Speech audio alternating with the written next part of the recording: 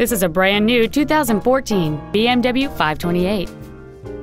It features a 2.0-liter four-cylinder engine and an automatic transmission.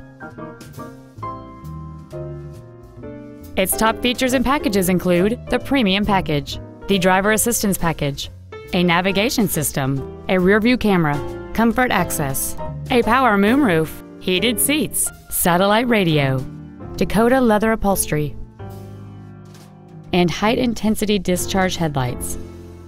The following features are also included steering wheel memory settings, air conditioning with automatic climate control, cruise control, BMW individual composition, front side impact airbags, a split folding rear seat, an auto dimming rear view mirror, a rear window defroster, a heads up display, and the power rear liftgate can open and close at the push of a button.